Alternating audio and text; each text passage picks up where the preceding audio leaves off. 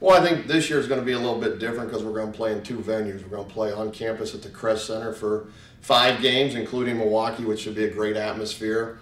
And then we're going to play 10 games down at the Resch Center, um, which is, you know, a great place to play, being right there across the street from Lambeau Field. And we got great fans at both places, and hopefully we'll be able to fill, fill the arenas in both spots.